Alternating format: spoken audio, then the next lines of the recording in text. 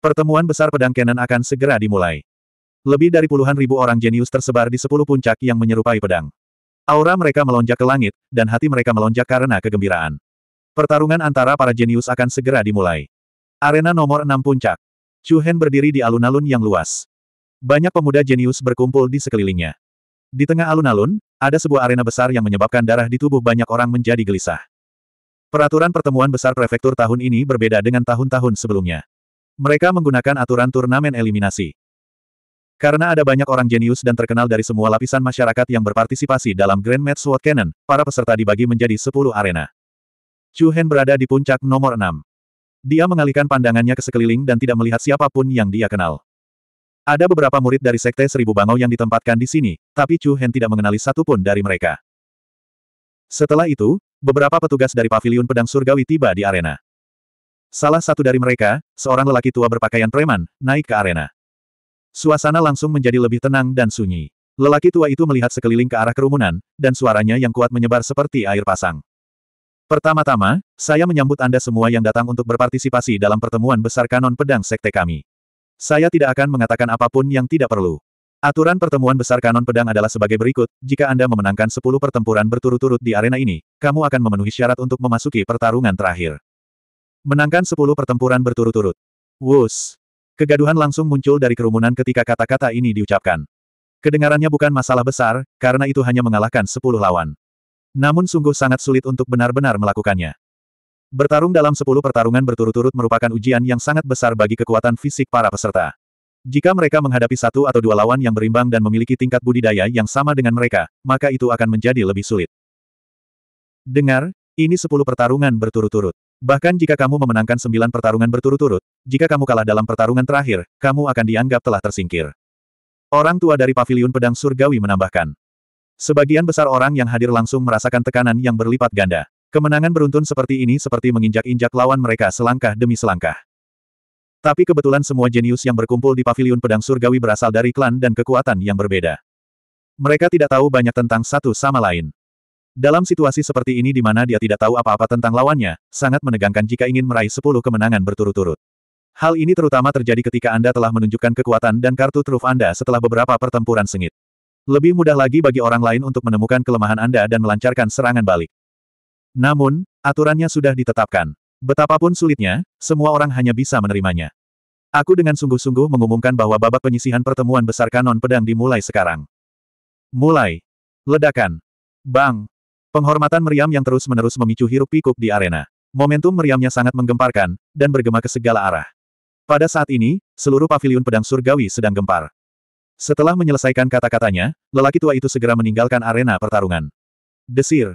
Kemudian, dua sosok gesit dan garang mendarat di atas panggung dari arah berbeda. Salah satu dari mereka memegang pedang, sementara yang lainnya memegang pedang. Aura kuat mereka langsung dilepaskan, menyebabkan serangkaian ledakan tumpul di udara. Siapa kamu, bajingan kecil? Sebutkan namamu. Aku, Zhao Qiyu, jangan membunuh orang tanpa nama, pria yang memegang pedang itu mengangkat pedang cahaya di tangannya. Cahaya putih yang menyilaukan segera keluar darinya, dan gelombang udara yang tak terlihat menekan orang di depannya. Huff, Huo Gang dari Sekte Xiaolin. Jika kamu tahu apa yang baik untukmu, lebih baik kamu bergabung denganku sekarang. Jika tidak, jangan salahkan pedangku karena tidak kenal ampun. Pemuda yang memegang pedang itu juga tak mau kalah. Dia masih muda dan penuh semangat. Pedang di tangannya dikelilingi oleh lingkaran pedang ki emas yang kental, dan suara mendengung terdengar di atas panggung. Mata Zhao Qiyu menjadi dingin, dan dia tersenyum dingin. Heh, kalau begitu mari kita lihat siapa sebenarnya. Apakah kamu pikir aku takut padamu? Dalam sekejap, keduanya terlibat dalam pertarungan sengit. Pedang dan pedang saling berbenturan, dan serangkaian percikan api muncul di atas panggung. Cahaya pedang yang mendominasi dan pedang ki yang cepat dan ganas bagaikan aurora yang bertabrakan. Gelombang ki berterbangan ke mana-mana, dan itu sangat mempesona. Bagus. Zhao Qiyu akan menang. Ayo Huo Gang. Para sahabat yang menemani mereka berdua bersorak-sorai. Keduanya tidak lemah, keduanya memiliki basis budidaya alam Void Piercing peringkat tiga. Pola cahaya di panggung pertempuran sangat mempesona. Dalam hal momentum, jelas bahwa Zhao Qiyu, yang menggunakan pedang, lebih unggul. Dalam hal fleksibilitas, Huo Gang satu tingkat lebih tinggi. Berdasarkan situasi saat ini, keduanya relatif berimbang, dan sulit untuk melihat siapa yang akan memenangkan pertarungan pertama. Makan pedangku. Tiba-tiba, momentum Huo Gang meningkat, dan dia menikamkan pedangnya ke tubuh bagian bawah lawannya. Gelombang cahaya yang menyilaukan bermekaran seperti matahari, dan penonton terkejut. Momentum pedang ini bisa dikatakan sangat dahsyat. Heh. Zhao Qiu tertawa dingin, dan dengan kedua kakinya di tanah, dia segera melompat ke langit. Menurutmu ke mana kamu akan pergi? Teriak Huo Gang, dan momentum pedangnya tumpang tindih. Lingkaran pedang Qi yang kuat melingkari tubuhnya seperti ular roh, menggulung momentum yang kuat dan mengejar Zhao Qiu. Namun, pada saat ini, Zhao Qiu tiba-tiba berhenti bergerak. Dia mengangkat pedang cahaya di tangannya dan mengayunkannya ke arah Huo Gang yang berada di bawahnya dengan cara menyelam. Keluar dari sini. Boom! Pada saat berikutnya, nyala api yang bergejolak keluar dari tubuh Zhao Qiu. Pedang cahaya di tangannya mengalir dengan pola spiritual, seolah-olah telah direndam dalam cahaya suci matahari. Sinar siklon yang mempesona mengelilinginya seperti riak, dan itu sangat mengagumkan. Huo Gang tidak menyangka lawannya akan tiba-tiba melakukan serangan balik. Dengan tergesa-gesa, dia buru-buru meletakkan pedangnya di depannya untuk memblokir. Bang! Gelombang kejut yang berat dan dahsyat meledak di udara, dan kekuatan tumbukan seperti gunung turun. Ruang sedikit bergetar, dan pola cahaya esensi sejati yang kacau bermekaran seperti hujan cahaya. Serangan yang sangat kuat ini secara langsung memaksa Huo Gang mundur. Bagus. Teman-teman Zhao Qiu bertepuk tangan dengan keras. Kemudian, Yuan sejati yang lebih kuat dengan cepat berkumpul ke dalam pedang di tangan Zhao Qiu, dan momentum pedang dingin yang menggigit itu kembali hancur. Hehe, pergilah ke neraka. Berdengung. Segera setelah dia selesai berbicara, pancaran pedang berbentuk bulan sabit yang sangat padat jatuh dari langit, dan dengan momentum yang mengejutkan, itu mengenai tubuh Huogang. Cahaya pedang tersebar ke segala arah, dan darah berjatuhan. Ah! Huogang menjerit kesakitan, dan langsung terlempar dari panggung. Dia berguling-guling di tanah dengan pedangnya, dan darah merah mengucur dari luka di dadanya. Pertarungan pertama telah berakhir, dan terjadi keributan di bawah panggung. Penjaga paviliun pedang surgawi yang bertanggung jawab atas pertempuran ini sedikit mengangkat kelopak matanya, dan berkata dengan acuh tak acuh, satu kemenangan. Aduh! Sebelum sipir selesai berbicara, sosok lain dengan momentum luar biasa terbang ke atas panggung. Zhao Qiyu, yang bahkan belum mengatur napasnya, mengarahkan pedangnya ke arah lawannya, dan berkata, sebutkan namamu. 502. Saat prolog dari pertemuan besar SWOT Codex dimunculkan, persaingan antara para jenius di 10 puncak raksasa dan 10 tempat kompetisi dimulai hampir pada waktu yang sama. Suara bising dan meriah bergema di berbagai tempat kompetisi puncak gunung. Seluruh paviliun pedang surgawi diselimuti suasana gembira. Chu Hen berada di tempat kompetisi ke-6.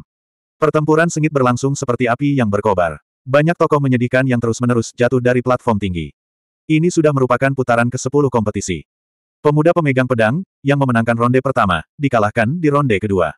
Dengan kata lain, keberuntungan lawannya hanya memberinya kemenangan pertama. Sejauh ini, Orang dengan kemenangan beruntun tertinggi hanya memenangkan tiga ronde dan terhenti di ronde keempat. Hal ini menyebabkan banyak penonton jenius menjadi semakin berhati-hati. Mereka tak berani gegabah naik ke atas panggung. Bahkan beberapa orang jenius yang sedikit terkenal di wilayah prefektur sedang mengamati mereka. Sejujurnya, di mata Chu Hen, pertarungan di atas panggung tidak terlalu menghibur. Meskipun percikan api beterbangan ke segala arah dan pertempuran berlangsung sangat intens. Di mata Chu Hen, sebagian besar gerakan dan tekniknya penuh celah. Sepertinya tidak perlu menunggu lebih lama lagi. Chu Hen dengan lembut bergumam saat jejak tekad muncul di matanya. Ledakan. Ledakan yang memekakan telinga tiba-tiba muncul di atas panggung. Awan debu dan cahaya tersapu. Gelombang kejut yang sangat dingin menyebabkan serangkaian suara gemetar. Sosok yang berlumuran darah terjatuh ke tanah. Tiga kemenangan berturut-turut, menyamai rekor terbaik sebelumnya. Administrator SWOT Pavilion yang bertanggung jawab atas kompetisi ini mengumumkan dengan acuh tak acuh. Terdengar sorakan sorak-sorai dari para penonton. Berdiri di atas panggung adalah seorang pria kekar yang tingginya lebih dari 2 meter. Dia memandang dengan jijik pada pria malang yang dia buang dari panggung. Hehe, kamu ingin berpartisipasi dalam pertemuan akbar wilayah prefektur dengan standar seperti ini. Kembalilah dan latihlah selama beberapa tahun lagi. Sungguh memalukan. Hahaha, kata yang bagus. Hu Jiu pasti akan menang. Dia akan menjadi orang pertama yang meraih 10 kemenangan berturut-turut. Momentummu cukup bagus. Pertahankan. Pria bernama Hujiu sangat bangga, tetapi harus dikatakan bahwa dia berhak untuk bangga. Meski hanya menyamai rekor terbaik sebelumnya, orang-orang yang telah memenangkan tiga pertandingan berturut-turut sebelumnya lebih sulit untuk menang. Pada pertandingan keempat, mereka tidak bisa lagi bertahan. Namun, dalam perjalanannya, momentum Hujiu bagaikan pelangi. Dia mengalahkan tiga lawan berturut-turut, dan semuanya dimenangkan dalam beberapa langkah. Sekarang, dia masih penuh energi dan memancarkan aura seperti gunung. Siapa yang berani tampil selanjutnya? Hu Jiu berteriak keras, sepertinya memprovokasi semua jenius yang hadir. Banyak dari mereka yang terlihat ragu-ragu di wajah mereka. Semua orang telah menyaksikan penampilan Hu Jiu sebelumnya, dan kekuatan yang dia pancarkan cukup menakutkan. Tidak dapat dihindari bahwa setiap orang akan mengamati lebih lama, membiarkan yang lain pergi dulu, dan kemudian menunggu sampai mereka kehabisan tenaga. Desir. Saat ini, sosok muda langsing dan tampan tiba-tiba muncul di atas panggung. Semua orang sedikit terkejut. Kecepatan pihak lain sangat cepat, tetapi saat kakinya menyentuh tanah, tidak ada setitik debu pun yang tergerak. Auranya terkendali dan sangat stabil. Ini memberi orang perasaan bahwa sulit untuk melihatnya. Heh, satu lagi yang tidak takut mati telah datang. Hu Jiu mencibir sambil menatap pemuda kurus dan lemah itu. Nak, beritahu aku namamu. Setelah itu, seseorang di bawah arena mengingatkannya. Hu Jiu, hati-hati, dia Chu Hen. Apa? Astaga, Segera setelah kata-kata ini diucapkan, gelombang suara riuh muncul dari bawah arena. Beberapa berseru kaget sementara yang lain mengungkapkan ekspresi bingung. Siapa Chu Hen? Dari sekte mana dia berasal? Saya belum pernah mendengar tentang dia. Aku tidak tahu secara spesifik. Seharusnya, dia adalah murid baru dari Sekte Seribu Bangau, dan dia naik ke posisi pertama di antara murid aula selama ujian pendatang baru. Apa-apaan ini? Dia sekuat itu. Bukan itu saja, kudengar bahkan Sky Splitter Hawk, Kou Tianchen, kalah darinya. Bahkan murid inti dari Sekte Asura, Tu Ye, tidak bisa mendapatkan keuntungan melawannya. Itu hanya rumor. Siapa yang akan percaya itu? Saya tidak tahu. Saya dengar itu benar. Masuk akal bahwa masalah yang disebabkan oleh Chu Hen di Sekte Seribu Bangau dan Hutan Gunung Mang seharusnya menyebabkan kegemparan di seluruh provinsi. Namun, acara Kitab Suci Pedang telah tiba. Hal ini menyebabkan perhatian seluruh provinsi tertuju pada Paviliun Pedang Langit. Jadi, rangkaian gangguan yang berhubungan dengan Chu Hen dirahasiakan. Ditambah dengan fakta bahwa benua seratus kerajaan sangat luas dengan sumber daya yang melimpah. Wajar jika sebagian besar jenius dari berbagai kekuatan belum pernah mendengar nama Chu Hen. Hu Jiu sedikit mengernyit saat dia mendengarkan suara pelan dari kerumunan di bawah, dan kemudian dia menatap Chu Hen dengan tatapan yang sedikit serius. Huff, aku tidak peduli siapa kamu. Karena kamu di sini, maka kamu pasti akan terinjak-injak di bawah kakiku.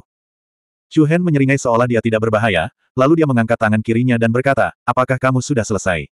Jika ya, mari kita mulai. Aku sedang terburu-buru. Nada suaranya lembut, dan dia tampak sangat santai. Wajah Hujiu menjadi gelap, dan energi asal sejati yang agung segera keluar dari tubuhnya. Energi asal sejati yang melonjak bagaikan nyala api yang membubung, dan menyelimuti seluruh tubuh Hujiu seperti air mendidih. Aura yang mengejutkan.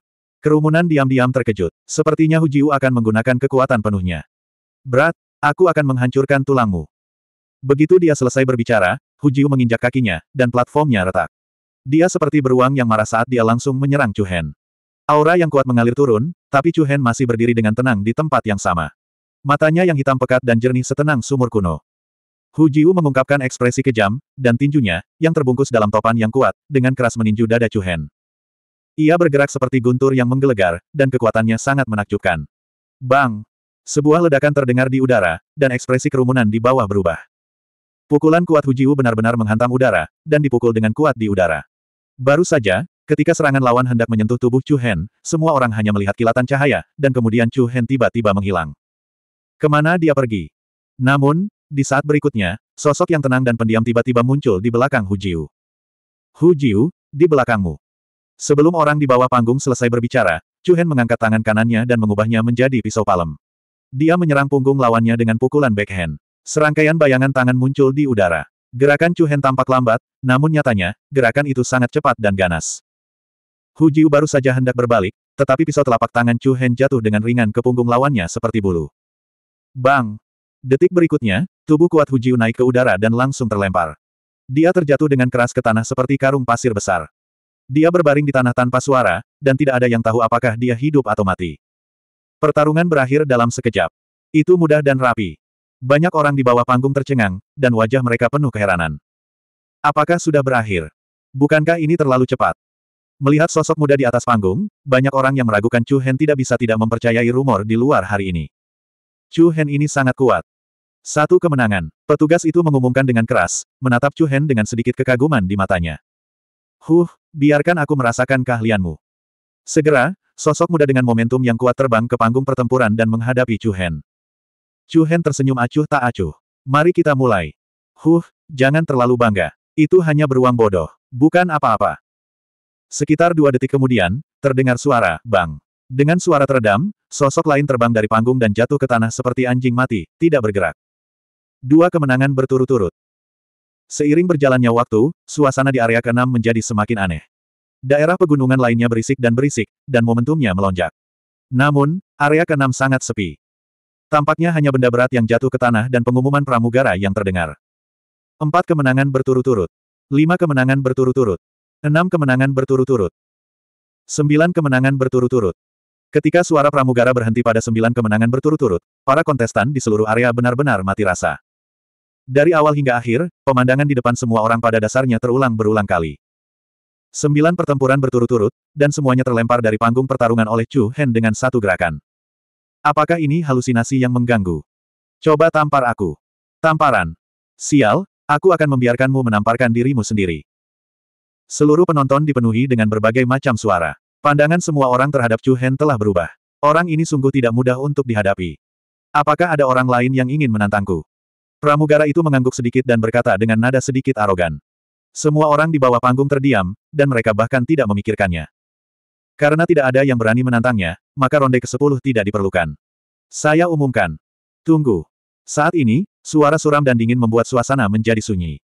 Semua orang melihat ke arah yang sama. Segera, Sosok muda dengan aura luar biasa perlahan berjalan menuju panggung pertarungan. Siapa dia? Mata semua orang terfokus pada telapak tangannya. Mereka melihat tangannya dikelilingi oleh pola cahaya keemasan yang menyilaukan, dan kulit telapak tangannya memiliki kilau keemasan yang jernih. Gelombang energi yang tidak jelas dan gelisah menyembur keluar dari telapak tangannya.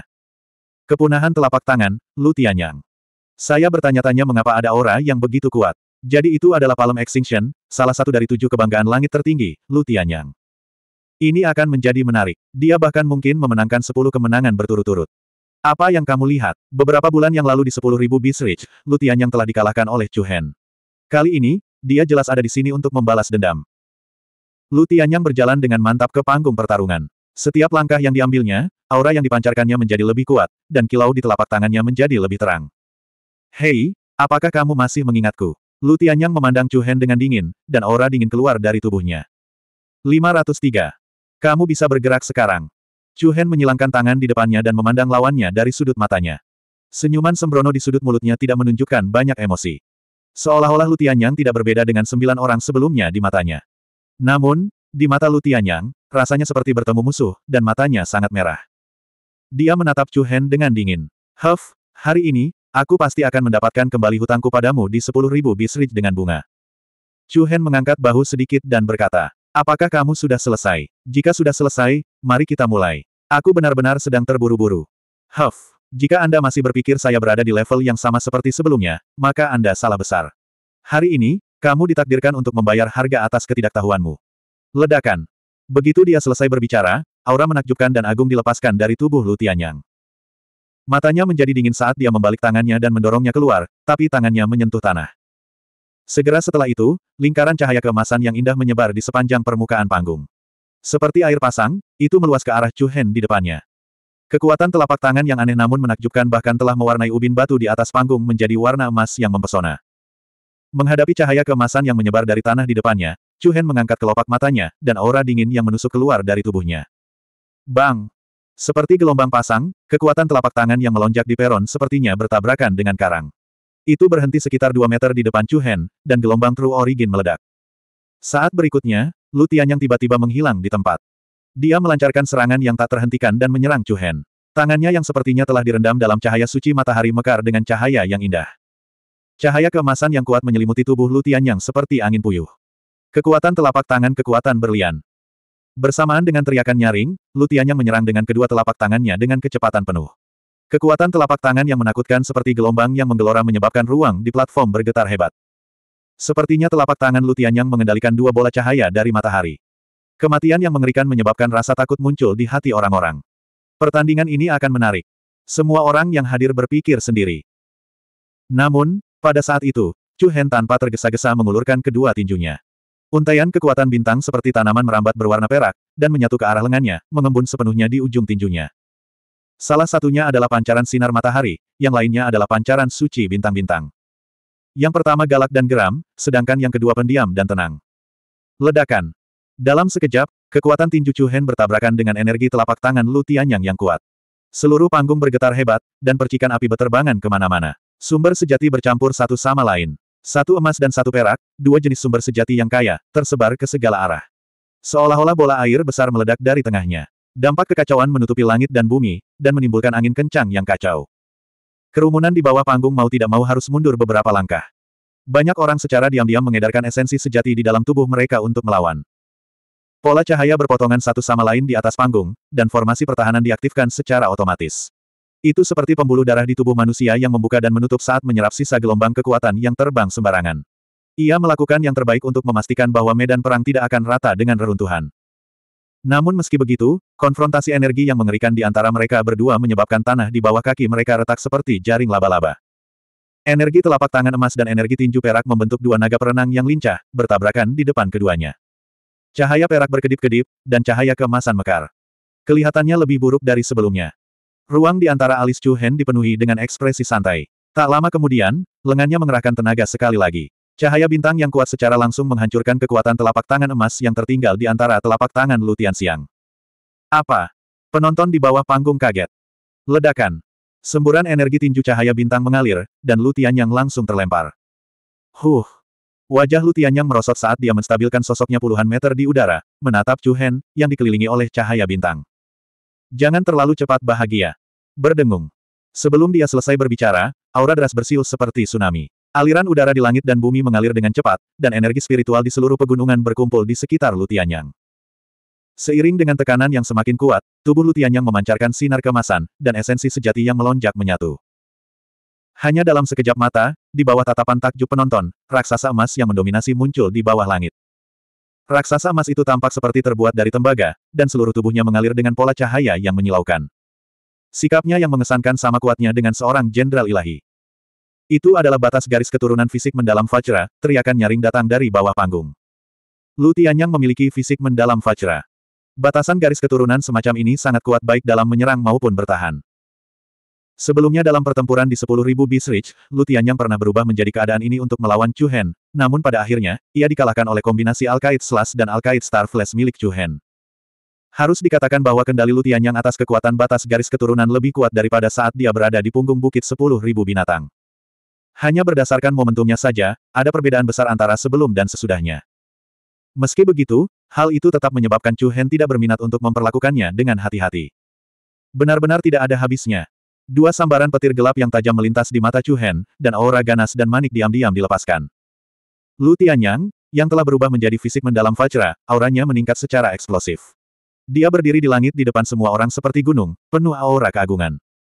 Yang bermarga Chu, hari ini saya akan menunjukkan kepada Anda seberapa besar kemajuan saya. Bersamaan dengan suara gemuruh guntur, Lutianya mengangkat telapak tangan besar dan perkasa yang tampaknya terbuat dari emas dan melancarkan tekanan yang menakutkan untuk menekan Chu Hen. Tetapi pada saat yang sama, Chu Hen bangkit dari tanah dan menghadapi serangan itu secara langsung dengan momentum bergegas menuju langit. Mendesis. Dalam proses bergerak, petir hitam pekat dengan cepat melesat keluar dari tubuh Chu Hen. Seperti ular petir yang bahagia, ia terjalin menjadi jaring cahaya tiga dimensi, menutupi seluruh tubuh Chu Hen di dalamnya. Apa itu? Kekuatan petir gelap. Mata banyak orang dipenuhi keheranan. Detik berikutnya, di bawah tatapan kaget semua orang di seluruh pegunungan, Chu Hen, yang dikelilingi oleh pola petir gelap, langsung bertabrakan dengan telapak tangan emas raksasa dari fisik mendalam Fajra milik Lu Tianyang. Adegan yang agak mengejutkan ini menyebabkan mata semua orang terbelalak dan hati mereka dipenuhi emosi. Di depan fisik mendalam Fajra raksasa, Chu Hen tampak sangat kecil, seperti kupu-kupu hitam yang menabrak telapak tangan manusia. Namun, kupu-kupu yang tampak kecil ini memiliki kekuatan ledakan seperti meteorit. Ledakan. Saat keduanya bertabrakan, rasanya seperti meteorit yang terbang dari langit menabrak pegunungan. Dunia menjadi gelap, dan True Origin yang kacau dan mengamuk meledak di langit. Sesuatu yang membuat semua orang semakin tercengang terjadi. Chu Hen, yang dikelilingi oleh petir gelap pekat, seperti pisau panas menembus mentega. Seperti anak panah terbang yang telah menempuh perjalanan ribuan tahun, dia tak henti-hentinya menyerang lengan besar King Kong. Gemuruh. Itu menghancurkan bumi, dan dentuman keras menembus telinga. Lengan besar tubuh Fajra itu seperti patung yang terbuat dari batu. Di bawah pengaruh kekerasan, rasanya seperti ampas tahu yang dihancurkan berkeping-keping dan dihancurkan inci demi inci. Apa? Dampak yang sangat mengerikan. Lu Tianyang menendang lempengan besi. Dalam sekejap mata, lengan mendalam Fajra raksasa langsung hancur, dan ledakan kacau dari asal sejati memenuhi langit dan bumi. Tanpa memberikan kesempatan kepada penonton untuk mengatur napas, Chu Hen langsung menyeret bayangan yang kuat di udara. Tubuhnya, yang menelan kekuatan petir gelap, seperti ikan todak yang terjun ke tengah dada tubuh mendalam Fajra, dan mengejar Lutianyang, yang bersembunyi di dalam. Bang, suara yang menggemparkan bumi, seperti ledakan bintang, terdengar. Tubuh mendalam Fajra yang tergantung di langit di atas platform pertempuran tiba-tiba meledak. 504. Boom! Ledakan yang menggemparkan bumi terdengar seperti runtuhnya gunung. Tubuh Fajra Lutianyang, yang sangat dia banggakan, hancur sedikit demi sedikit, meledak menjadi awan emas yang tak terhitung jumlahnya. Petir hitam pekat menutupi langit dan menutupi bumi. Seolah-olah puluhan ribu burung menangis dengan keras. Suara bising dan berapi-api menyebabkan gendang telinga semua orang berdengung dan jantung mereka berdebar-debar. Segera setelah itu, sosok menyedihkan berlumuran darah melayang turun dari awan energi yang kacau. Itu Lutianyang. Pupil mata semua orang mengerut saat melihat ini. Bang! Lutianyang menabrak panggung dengan keras. Pola petir hitam kecil mengalir dan berkelap-kelip di sekujur tubuhnya.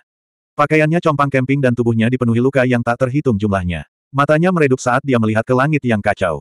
Rasa kekalahan yang belum pernah terjadi sebelumnya memenuhi pikirannya. Selanjutnya, sosok cepat dan ganas lainnya muncul dari awan yang kacau dan mendarat dengan mantap di tanah, tidak menimbulkan setitik debu pun. Semua orang yang hadir terkejut. Tidak ada satu luka pun di tubuh Chu Hen. Bahkan pakaiannya pun tidak berantakan. Bahkan auranya tetap stabil seperti sebelumnya. Mendesis. Kerumunan itu tersentak. Pada saat ini, tidak ada yang meragukan bahwa kekalahan Chu Hen atas Kou Tianchen, Tu Ye, dan yang lainnya hanyalah rumor belaka. Dia telah memenangkan 10 pertempuran berturut-turut tanpa tekanan apa pun. Khususnya, pertempuran terakhir adalah melawan Lu Tianyang. Dia telah menunggu lawannya membuatnya lelah, tapi dia tetap saja babak belur. Hasil ini sungguh tidak terduga. Sepuluh kemenangan berturut-turut. Administrator tua di bawah panggung mengumumkan dengan kagum. Selamat, kamu telah melaju ke babak selanjutnya. Hua. Suasana di bawah panggung semakin kacau. Ada kejutan, rasa iri, dan rasa hormat. Sepertinya kuda hitam kuat lainnya telah muncul di SWOT Codex Grand Met tahun ini. Chu Hen dengan dingin melirik Lu Tianyang, yang tidak jauh darinya. Dia seharusnya mengakhiri hidup Lu Tianyang di punggung bukit sepuluh ribu binatang. Tapi sekarang, hal itu tidak perlu dilakukan. Kesenjangan antara keduanya telah lama menjadi jurang yang tidak dapat diatasi. Membunuh atau tidak membunuh tidaklah penting sama sekali. Setelah itu, Chu Hen tidak melirik Lutianyang lagi, dan sosoknya melintas saat dia melayang ke langit dan pergi. Penatua Diaken menulis dua kata, Chu Hen, pada gulungan putih dan mengumumkan dengan suara yang jelas. Kompetisi berlanjut. Setelah meninggalkan puncak ke-6, Chu Hen langsung menuju zona kompetisi ke-9. Luo Mengchang ditugaskan ke divisi itu. Keduanya telah sepakat sebelumnya bahwa siapa pun yang menyelesaikan pertandingannya terlebih dahulu akan pergi ke divisi masing-masing untuk mencari yang lain. Tidak diragukan lagi, kecepatan Chu Hen menyelesaikan kemajuannya sangat cepat. Dalam sembilan dari sepuluh pertempuran pertama, Lu Tianxiang dikalahkan dengan satu gerakan. Pada akhirnya, dia tidak menghabiskan terlalu banyak waktu untuk mengalahkan Lu Tianxiang. Namun, selama selusin pertempuran pertama, Chu Hen telah berdiri di antara penonton. Saat ini, Chu Hen tidak tahu apa yang terjadi dengan Luo Mengchang. Dalam perjalanannya, turbulensi dahsyat yang berasal dari pegunungan lain datang silih berganti. Esensi sejati bertabrakan, Keterampilan bela diri bersilangan, dan sorak-sorai serta teriakan kerumunan tidak ada habisnya, menyebar ke segala arah. Pemandangan yang riuh dan semarak itu naik turun seperti ombak, gelombang demi gelombang. Ini menunjukkan kemegahan kompetisi wilayah Xiansu. Setelah sekitar waktu yang dibutuhkan untuk minum secangkir teh, Chu Hen tiba di puncak ke-9. Dibandingkan dengan zona kompetisi ke-6, puncak ke-9 lebih lebar dan megah, namun dari segi ketinggian, jauh lebih pendek. Zona persaingan pada zona persaingan ke-9 berbeda dengan zona persaingan ke-6. Arena ini dibangun di tengah dua punggung gunung. Itu bukan di puncak gunung. Tebing di kedua sisinya curam, dan seolah-olah saling berhadapan. Di tengahnya terdapat rantai besi yang panjangnya lebih dari seratus kaki, menghubungkan kedua puncak tersebut seperti jembatan rantai. Pada saat ini, pertempuran sengit sedang terjadi di langit. Keduanya mengepung jembatan rantai dan terus-menerus menyerang satu sama lain. Percikan terbang ke mana-mana, dan ruangan bergetar. Serangkaian bayangan muncul di udara, menyilaukan mata semua orang.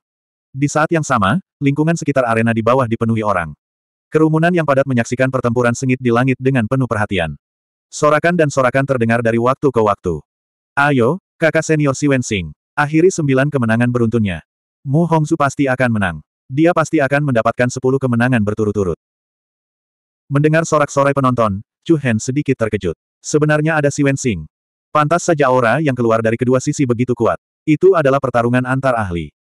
Si Wensing adalah seorang jenius yang cukup terkenal di provinsi tersebut. Dia adalah salah satu dari lima murid inti dari Sekte Seribu Bangau, jadi dia secara alami tidak lemah. Namun, yang membuat Chu Hen terkejut adalah lawannya sudah memenangkan sembilan ronde pertandingan. Ini berarti Si Wensing sedang menunggunya sampai kehabisan tenaga. Melihat ke atas, lawan Si Wensing adalah seorang pemuda yang sangat ahli dalam pertarungan jarak dekat. Dia sangat cepat, dan reaksinya sangat kuat. Dia luar biasa dalam menyerang dan bertahan.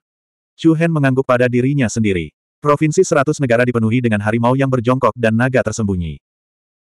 Mu Hongzu pasti akan menang. Beritahu mereka bahwa generasi muda kota Taixiao tidak kalah dengan Sekte Seribu Bangau. Huff, jangan terlalu sombong. Kota Taixiao hanyalah bintang yang sedang naik daun. Sudah berapa tahun berlalu, dia berani bersaing dengan kekuatan Sekte Seribu Bangau. Saya sedang berbicara tentang generasi muda yang jenius. Saya tidak berbicara tentang kekuatan mereka. Heh, terlalu mudah baginya untuk mengalahkan Si Wensing. Mu Hongzhu adalah seorang jenius dari klan Mu di kota Taixiao. Dalam beberapa tahun terakhir, kebangkitan kota Taixiao secara bertahap telah menarik perhatian semua kekuatan di provinsi tersebut.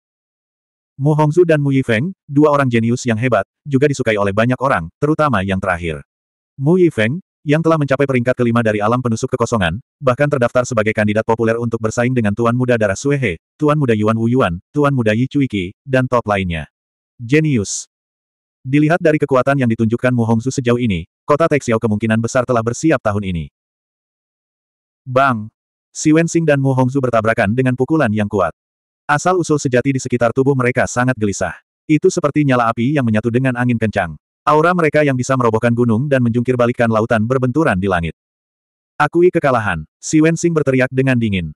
Mu Hongzhu mencibir dengan jijik. Haha, sepertinya kamu belum mendapatkan keuntungan apa pun. Bukankah terlalu dini bagimu untuk mengatakan hal seperti itu? Huff, selanjutnya kamu akan tahu apakah ini pagi atau tidak. Hehe, tidak perlu menunggu selanjutnya, karena kamu tidak akan punya kesempatan. Apa? Semua orang yang hadir sedikit terkejut. Gemerincing. Mu Hongzhu menyatukan kedua telapak tangannya, dan gelombang energi aneh dilepaskan dari tubuhnya. Pada saat berikutnya, dengan Si Wensing sebagai pusatnya, kekosongan di segala arah mulai bergetar dengan gelisah. Setelah itu, lapisan cahaya hitam tiba-tiba muncul di depan mereka, kiri dan kanan, atas dan bawah. Enam lapisan cahaya hitam berpotongan satu sama lain, dan ujung-ujungnya menyatu dengan mulus. Dalam sekejap mata, sebuah kubus hitam transparan yang lebarnya lebih dari 10 meter menjebak Si Wen Xing di dalamnya. Huff, menurutmu benda ini bisa menjebakku? Kamu terlalu naif, Si Wen Xing berteriak dengan dingin, dan memicu gelombang kekuatan asal sejati yang seperti gelombang bergelombang untuk menyerang kubus hitam. Bang!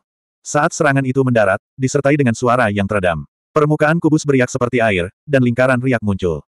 Setelah itu, dampak kedua datang lagi, dan garis panjang dan sempit yang tak terhitung jumlahnya telah muncul di enam tingkat. Meskipun kubusnya tidak lemah, sepertinya akan sulit untuk menjebak si Wensing. Melihat kubus itu akan pecah, wajah Mu Hongzu tidak menunjukkan sedikit pun kepanikan. Tangannya terus melakukan serangkaian segel tangan yang rumit.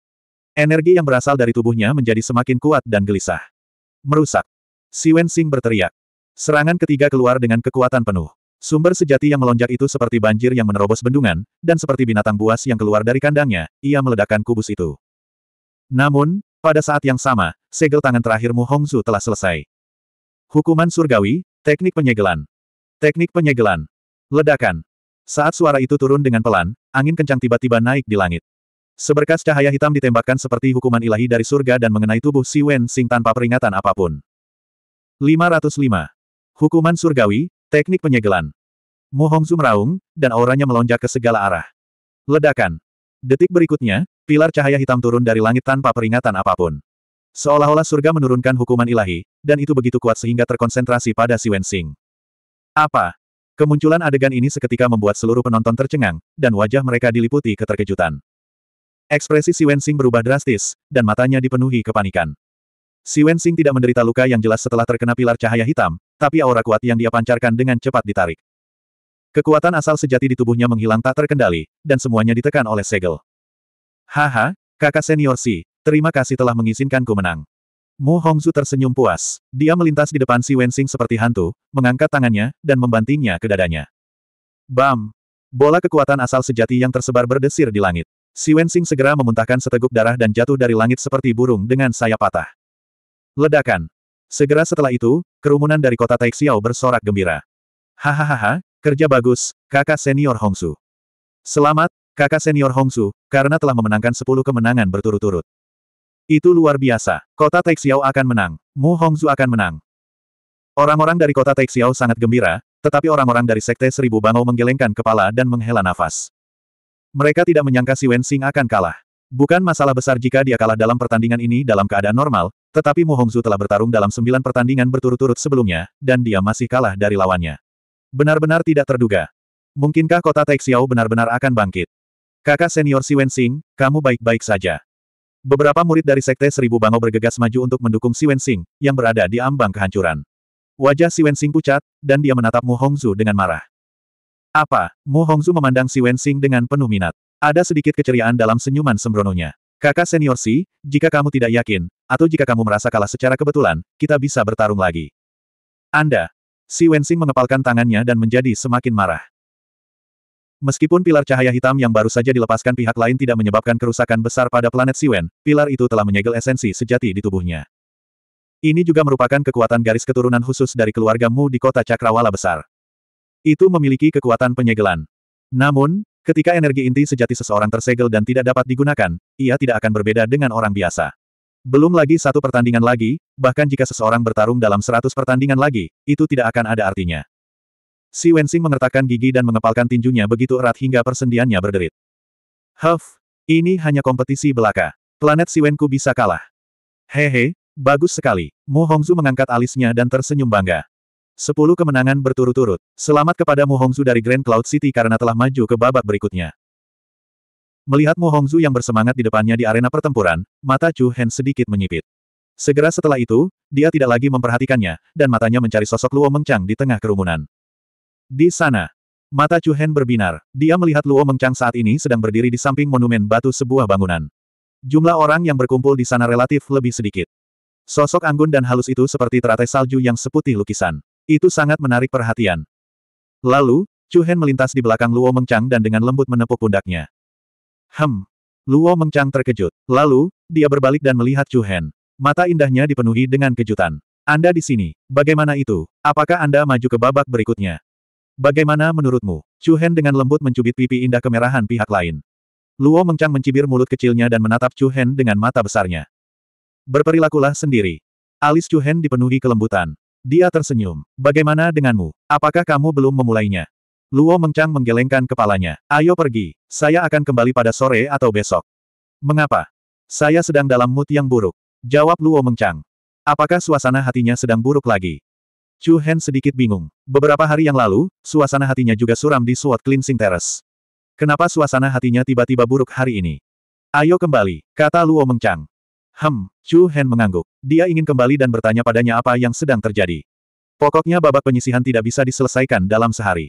Tidak akan ada banyak perbedaan jika mereka kembali pada sore atau besok. Namun, saat mereka berdua hendak pergi, sesosok tubuh tiba-tiba menghalangi jalan mereka.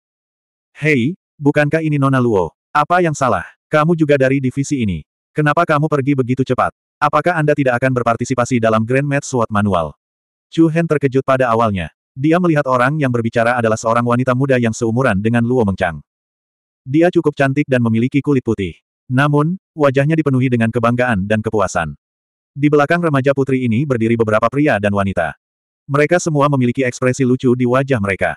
Namun, yang mengejutkan Chu Hen adalah Mu Hongzu, yang telah mengalahkan si Wen Star dan meraih 10 kemenangan berturut-turut, juga ada di antara mereka. Tidak diragukan lagi bahwa kelompok orang ini berasal dari kota Taixiao. Haha, setelah bertahun-tahun, Nona Luo menjadi semakin cantik. Mu Hongzu perlahan berjalan ke depan sambil tertawa kecil. Dia bersemangat dan memancarkan aura yang tajam.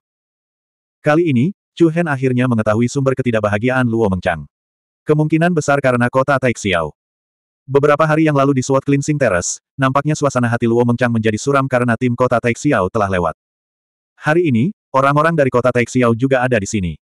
Namun, yang membuat Chu Hen bingung adalah dendam macam apa yang ada di antara kedua belah pihak. Apa masalahnya? Luo Mengcang memandang mereka dengan acuh tak acuh. Tidak banyak, hanya saja kami sudah bertahun-tahun tidak bertemu, jadi kami ingin mengobrol dengan Nona Luo. Mata Mu Hongzu tertuju pada Luo Mengcang. Dia benar-benar mengabaikan Chu Hen, yang ada di sampingnya, seolah-olah dia tidak ada. Tidak ada yang perlu kubicarakan denganmu, jangan menghalangiku. Nona Luo, kamu terlalu sopan. Lagi pula, kita dulu berada di bawah gerbang kota yang sama. Tidak perlu saling menyapa saat kita bertemu. Mu Hongzu mengelus dagunya dengan satu tangan dan tersenyum tipis. Wanita muda yang menghalangi jalan Luo Mengcang sebelumnya mengejeknya dengan nada menghina. Saudara Hongzu, ayo kita rayakan kemajuanmu di babak penyisihan. Segalanya berbeda sekarang, Nyonya Luo berjalan pergi dengan kepala menunduk ketika dia melihat kami. Lebih baik tidak menertawakannya. Turunkan kepalanya. Candaan. Setelah mendengar dua kata ini, mata Chu Hen tiba-tiba melonjak dengan sedikit rasa dingin. Namun, sebelum dia sempat bereaksi, Luo Mengcang memegang lengan Chu Hen dan berkata dengan lembut, ayo pergi. Chu Hen mengerutkan kening, tetapi ketika dia melihat Luo Mengcang dengan lembut menggelengkan kepalanya, dia menekan kemarahan yang meningkat di dalam hatinya. Kemudian, keduanya berbalik dan pergi. Namun, beberapa orang dari kota Taixiao tampaknya salah mengira toleransi Chu Hen dan Luo Mengchang sebagai rasa takut. Wanita muda itu mendengus dan berkata, mungkinkah ini kekasih Nona Luo? Mata yang bagus. Kata-katanya penuh ejekan. Luo Mengchang tidak ingin Chu Hen memiliki konflik dengan kelompok orang ini, jadi dia tetap menariknya pergi. Namun, saat ini, Mu Hongzu berkata dengan nada sembrono, Luo Mengchang, jika klan Luo masih ingin kembali ke kota Taixiao, bukan tidak mungkin. Jika kamu mau tinggal bersamaku sendirian selama beberapa hari, hehe, aku bisa pergi dan memohon kepada penguasa kota. Berdengung. Sebelum Mu Hongzu bisa menyelesaikan kata-katanya, aura yang sangat dingin tiba-tiba menyerbu. Langkah kaki Chu Hen tiba-tiba terhenti. Berbalik, sepasang pupil sedingin es berkedip dengan cahaya ungu menyihir yang tidak jelas. Gelombang udara yang tak berbentuk menyebabkan aliran udara bergetar sesaat. Tatapannya yang seperti pedang langsung mendarat di tubuh Mu Hongsu. 506. Jika kamu punya nyali, ulangi apa yang baru saja kamu katakan. Suara sedingin es keluar dari mulut Chu Hen. Namun, sebagai perbandingan, tatapan pihak lain bahkan lebih tajam daripada kata-katanya. Kata-kata Mu Hongzu secara langsung menyentuh inti dan kemarahan Chu Hen. Seekor naga memiliki skala terbalik, dan menyentuhnya akan membuatnya marah. Tanpa ragu, Luo Mengcang saat ini adalah skala kebalikan dari Chu Hen. Rasa dingin yang tak berwujud menyebar dengan tenang.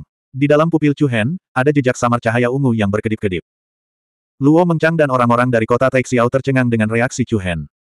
Selain Mu Hongzu, ekspresi orang lain sedikit berubah. Rasa dingin yang berasal dari tubuh Chu Hen membuat mereka merasa sedikit tidak nyaman.